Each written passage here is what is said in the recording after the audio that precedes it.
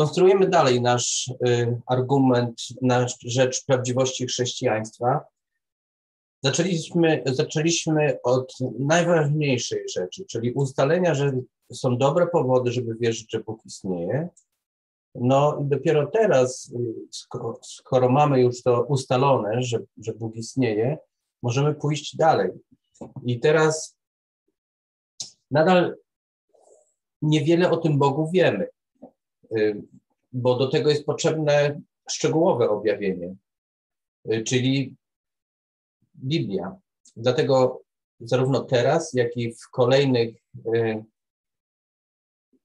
częściach naszego kursu będziemy zaglądać do Biblii, będziemy chcieli pokazać wiarygodność nowego historii Y, zaprezentowanych w Nowym Testamencie. Ale zanim przejdziemy do wiarygodności Nowego Testamentu, musimy poruszyć bardzo ważną kwestię. Fundamentem całej wiary chrześcijańskiej jest osoba Jezusa. Tymczasem pojawiły się teorie w XIX wieku i które do dzisiaj są rozpowszechniane. Teoria, tak zwana teoria mitu Jezusa że Jezus tak naprawdę nie, nie, nigdy nie chodził po ziemi. To, to jest postać mityczna, wymyślona, jak i cała historia jego życia, a także nauczanie.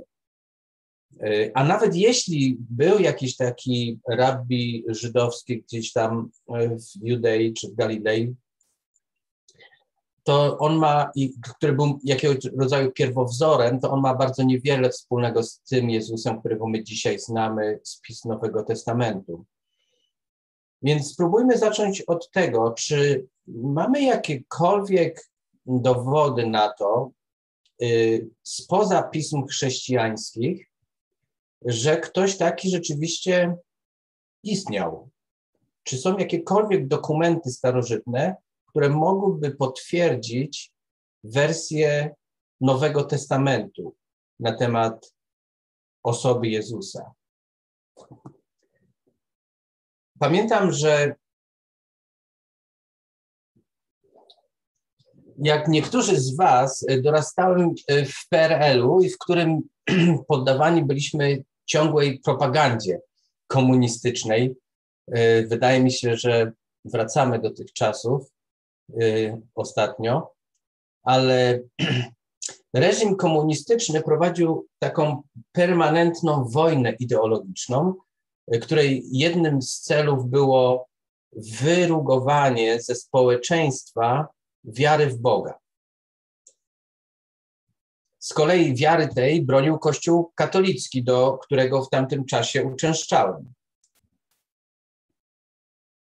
Pamiętam, że będąc nastolatkiem, Pewnego dnia w szkole otrzymaliśmy za zadanie przeczytać pewien esej, dzisiaj bym go nazwał bardziej pamfletem, który dowodził, że Jezus był postacią fikcyjną, że nigdy taka osoba w historii nie istniała naprawdę. Pamiętam, jak po przeczytaniu tego tekstu byłem zaniepokojony, gdyż twierdzenie to stało w sprzeczności z moją wiarą. Zacząłem sobie wtedy zadawać pytania, jak to jest? Więc Jezus został wymyślony, jest fikcyjną postacią, nigdy nie istniał naprawdę, jest, jest taką fikcją jak, jak postaci z mitologii, jak Poseidon, jak Hermes. W tamtym momencie nie miałem wiedzy, by móc argumentować przeciw temu, co przeczytałem. Jednak nadal intuicyjnie trzymałem się przekonania, że Bóg istnieje, a, a Jezus był prawdziwą historyczną postacią i założycielem chrześcijaństwa. Ale dziś wiem znacznie więcej na ten temat. Wiem, że istnieją bardzo mocne argumenty wspierające tezę przeciwną do tej promowanej e, w czasie komunizmu, a mianowicie, że Jezus jest prawdziwą historyczną postacią ten pogląd, że Jezus, jakiego dziś znamy z Nowego Testamentu, jest postacią wymyśloną, on nadal istnieje i, i jest promowany współ, współcześnie poprzez e, książki i filmy dokumentalne.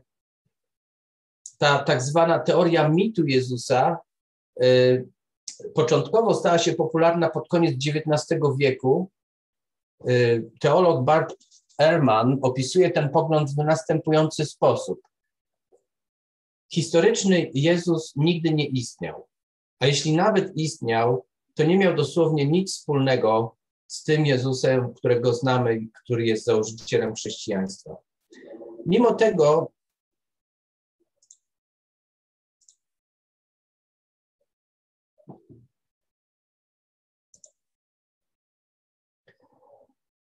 pomimo tego, że teoria ta była krytykowana i obalana w wielu publikacjach w XX wieku, ciągle znajdują się zwolennicy teorii mitu o Jezusie, którzy publikują nowe książki i artykuły promujące ten pogląd. Między nimi chyba najbardziej znany jest Robert Price, który y, między innymi jest znany z książki Deconstructing Jesus z roku 2000. Z całą pewnością możemy dzisiaj spotkać osoby sceptyczne, które wierzą w tą teorię albo przynajmniej o niej słyszały. Ja przypominam sobie, że kiedyś Bartek Serkowski podesłał mi e, e-mail od pewnej dziewczyny, studentki, która przypadkowo trafiła na YouTubie na taki film dokumentalny, którego, który swego czasu był dosyć popularny i wywołał taką burzę.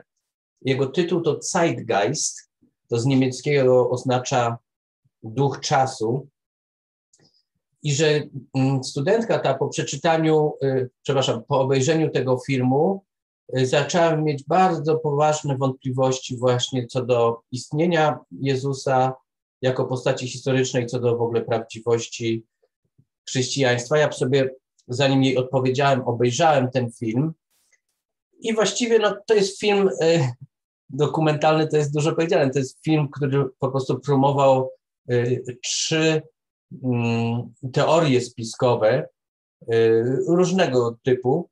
Właśnie pierwsza część dotyczyła czegoś, co można by nazwać wersją tej teorii mitu Jezusa.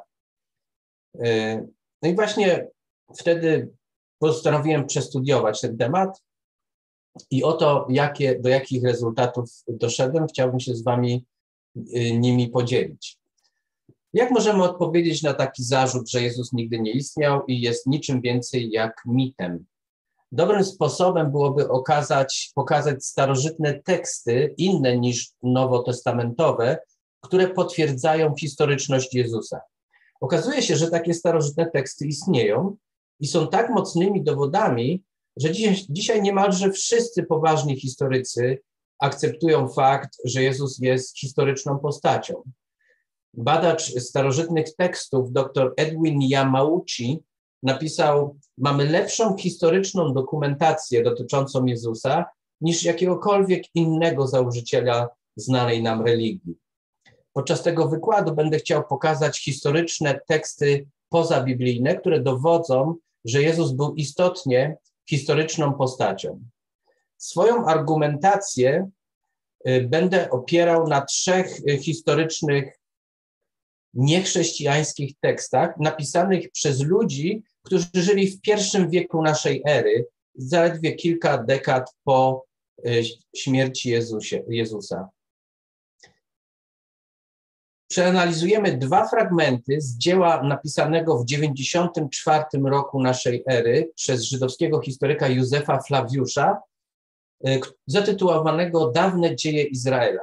Następnie zbadamy fragment roczników Tacyta, y, rzymskiego historyka, napisanych w roku 109 oraz list Pliniusza Młodszego, prokonsula Bitynii, który został wysłany do imperatora Trajana w Rzymie y, w roku 111. Zacznijmy od Józefa Flawiusza.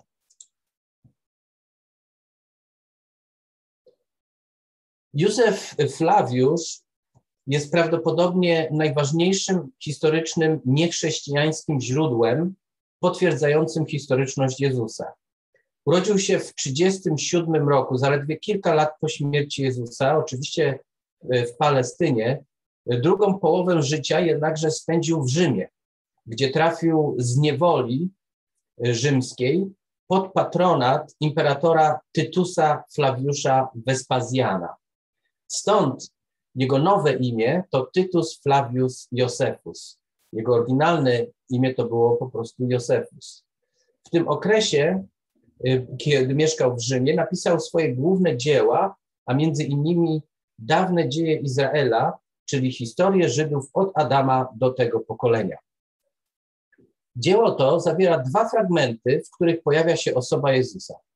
Zobaczmy pierwszy fragment. Pierwszym fragmencie Józef Flawiusz opisuje, jak arcykapłan Anna, Anna, Annasz organizuje Sanhedryn i formułuje oskarżenie, aby zabić Jakuba, yy, brata Jezusa. Oto ten tekst. Macie go też chyba w notatkach, no i macie na ekranie, więc śledźcie uważnie. A wtedy Cezar, dowiedziawszy się o śmierci Festusa, wyspał, wysłał Albinusa do Judei jako prokuratura, prokuratora.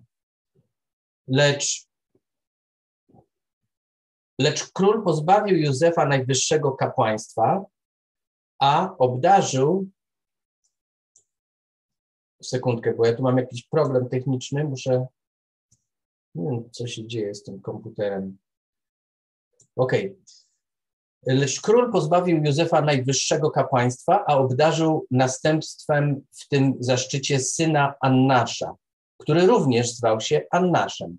Festus był zatem umarł, lecz Albinus wciąż był w drodze. Zebrał więc on, to jest Annasz, Sanhedryn sędziów i przywiódł przed, przed nich brata Jezusa, którego zwali Chrystus, imieniem Jakub i jeszcze innych. A kiedy powiedział przeciwko nim zarzuty jako łamiącym prawo, oddał ich na ukamienowanie. Więc to jest ten fragmencik z dziejów, z dawnych dziejów Izraela, w którym nagle pojawia się takie zdanie e, brata Jezusa, którego zwali Chrystus imieniem Jakub. Więc wszystko to ma miejsce w Jerozolimie. Okay? To się dzieje w Jerozolimie, jest rok około 62 naszej ery. Cezar, Cezarem był Neron w tym czasie. Król, to, o którym tutaj mowa, to Herod Agrypa II. Festus i Albinus to są rzymscy prokonsulowie y, zarządzający prowincją Judei, przy czym no Festus właśnie umarł, Cesarz wyznaczył nowego, ale on jeszcze nie dotarł do Jerozolimy. Jakub, o którym tu jest mowa i którego właściwie ten fragment dotyczy, to Jakub Sprawiedliwy, y, lider y, jerozolimskiego kościoła chrześcijańskiego i brat Jezusa. Jakub za życia był sceptykiem. Za życia Jezusa był sceptykiem wobec y, no, twierdzeń Jezusa o sobie, ale kiedy Jezus po swojej śmierci ukazał się mu, stał się gorliwym uczniem Jezusa i wkrótce został liderem kościoła chrześcijańskiego w Jerozolimie. Jak widzimy w tym fragmencie, Jakub został właśnie w tym 62 roku ukamienowany przez Żydów.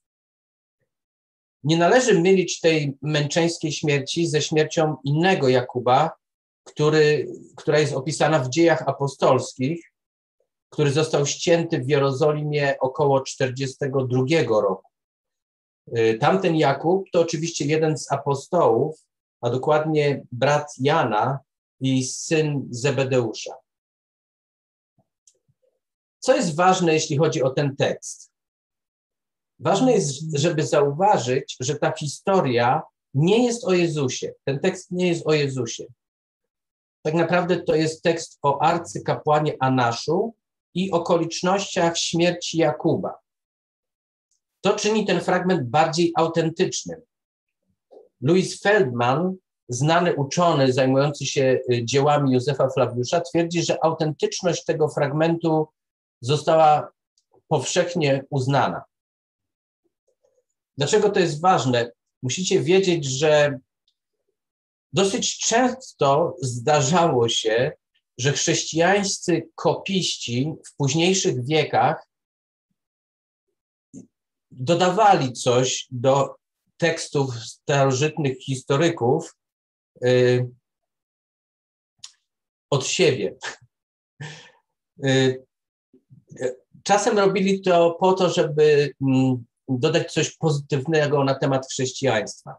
Dlatego uczeni, którzy badają starożytne teksty, są bardzo uczuleni, kiedy pojawia się y, jakiś taki nawiązanie do chrześcijaństwa lub do Jezusa w jakichś historycznych rzymskich czy żydowskich kronikach, to zawsze zaczyna się debata, czy to jest autentyczny tekst, który wyszedł spod pióra, na, na przykład w tym przypadku Flawiusza, czy też jest to jakiś dodatek, jakaś manipulacja dokonana przez któregoś z chrześcijańskich kopistów z późniejszych wieków.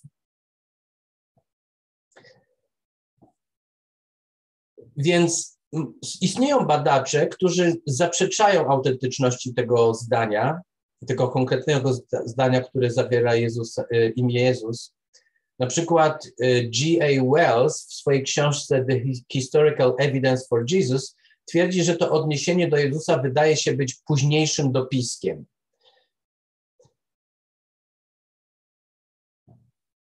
Jednak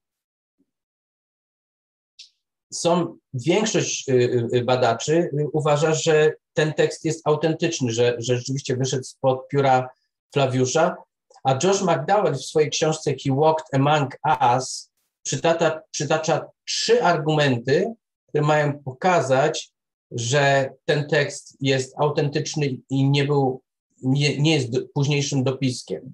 Po pierwsze, to zdanie, a mówimy o zdaniu yy,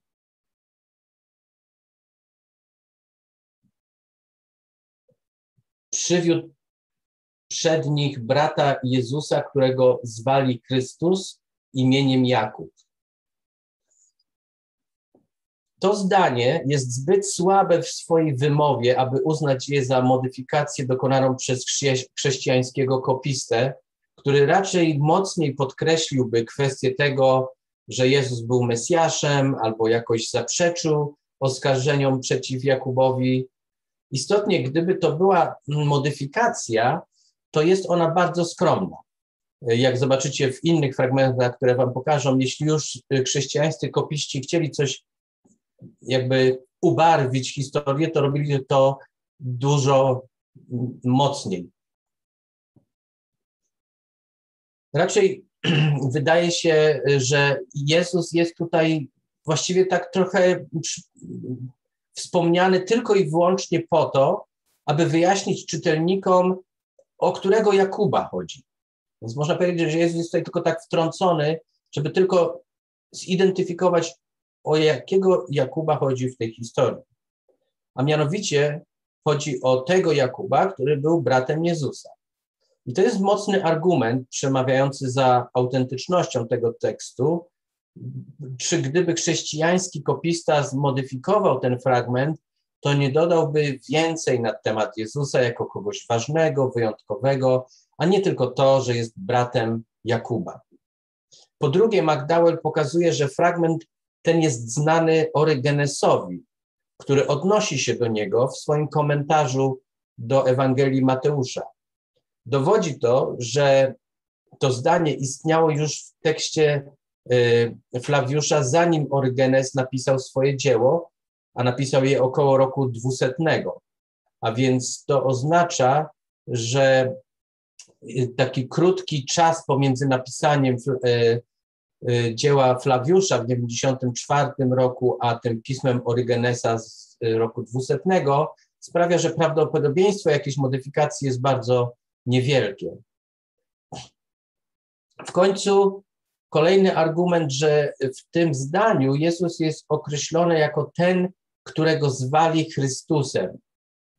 A to wskazuje, że autor sądzi, iż Chrystus to jest nazwa własna, jakby imię, nazwisko y, Jezusa.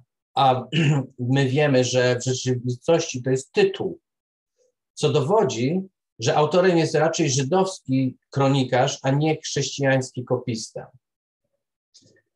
Podsumowując, wydaje się, że powyższy tekst jest autentyczny i stanowi mocny argument na rzecz historyczności osoby Jezusa. Ponadto, jeżeli imię Jezusa jest w tym fragmencie użyte do zidentyfikowania, o jakiego Jakuba chodzi autorowi, to zwróćcie uwagę, że musi to oznaczać, że autor, czyli Flawiusz, zakłada, że czytelnik wie, kim ów Jezus jest. Co prowadzi do konkluzji, że pod koniec I wieku wiedza o historycznej postaci o imieniu Jezus musiała być powszechna, a przynajmniej musiała być powszechna, jeśli chodzi o potencjalnych czytelników dzieła Józefa Flawiusza. Także jest to całkiem e, mocny tekst potwierdzający historyczność Jezusa.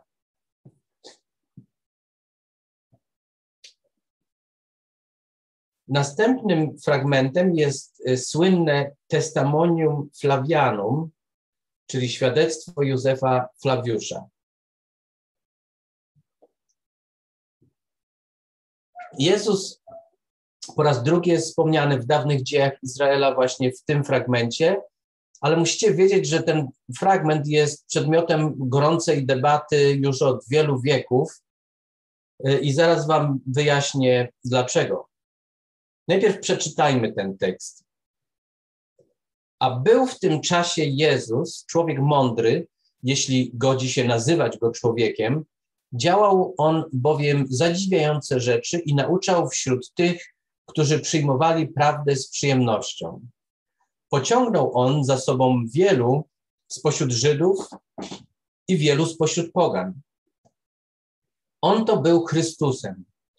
A kiedy Piłat za namową pierwszych wśród nas mężów skazał go na krzyż, ci, którzy go miłowali, nie opuścili go, Ukazał się im on bowiem żyw ponownie na trzeci dzień.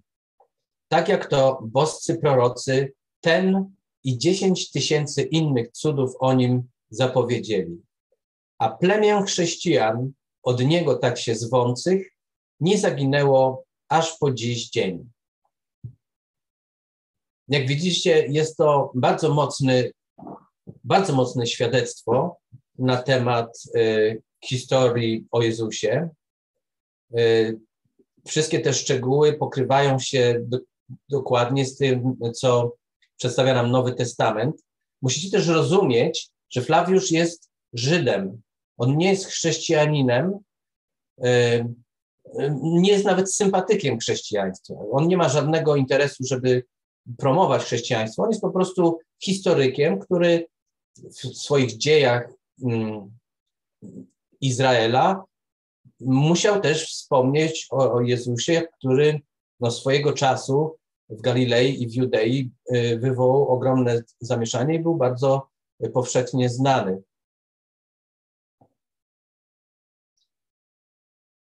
Na pierwszy rzut oka wydaje się, że jest to bardzo mocne świadectwo na temat y, Jezusa. Jednakże musicie wiedzieć, że y, ten tekst jest bardzo problematyczny. Wielu uczonych, no można powiedzieć śmiało większość uczonych, jest przekonanych, że chrześcijańscy kopiści zmodyfikowali przynajmniej część tego fragmentu. Oczywiście badacze różnią się co do zakresu tekstu, który został zmodyfikowany, Niektórzy są przekonani, że cały tekst jest autentyczny, a inni w całości go odrzucają. Większość jednak uważa, że mamy tu do czynienia z oryginalnym tekstem napisanym przez Józefa Flawiusza, yy, który zawierał odniesienia do Jezusa, do którego później pewne fragmenty zostały dopisane. Ja za chwilę, znaczy no nie za chwilę, czas nam się kończy, więc zostawiam wam Was tutaj z, tą, z tym takim niepokojem i z oczekiwaniem na wyjaśnienie, czy ten tekst jest dobrym argumentem, czy nie. I od tego zaczniemy jutro o 10.